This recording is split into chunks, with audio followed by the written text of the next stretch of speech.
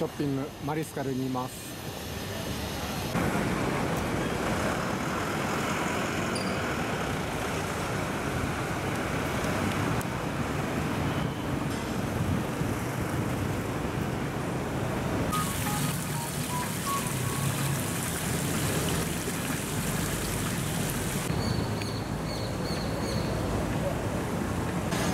この店でアップル製品などは買えます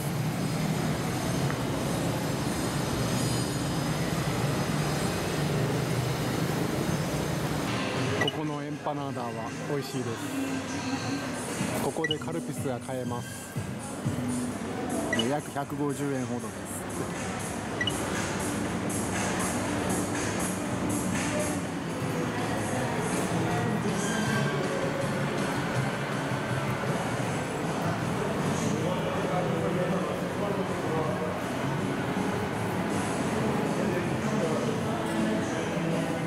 ジャガーも。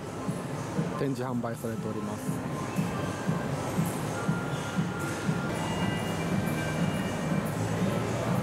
クロックスのお店もあります。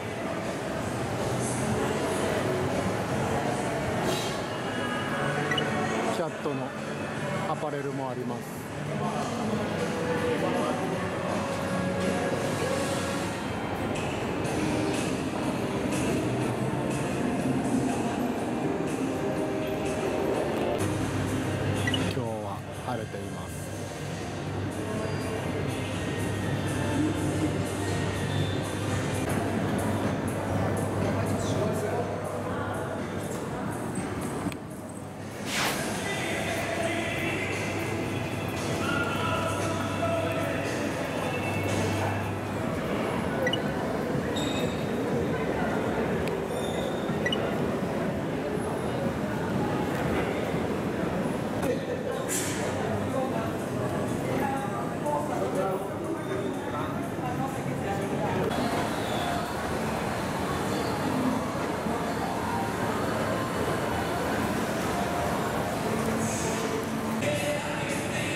あります。日本に比べるとパラグアイは本屋の数が少ないです。最上階には大きなフードコートもあります。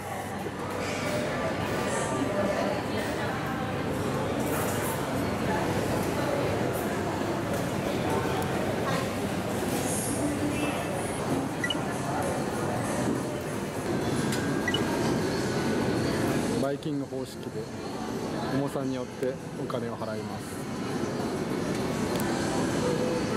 この量で約2万7000グアラニーです。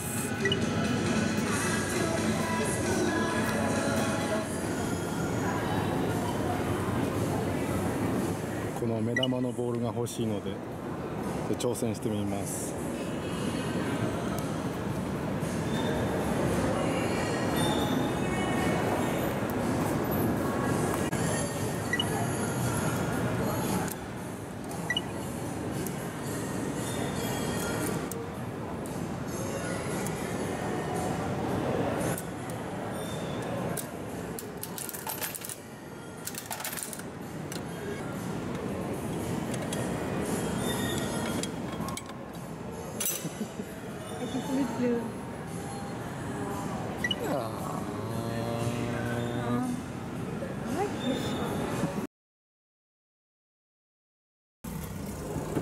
南米パラグアイから発信しております。チャンネル登録お願いします。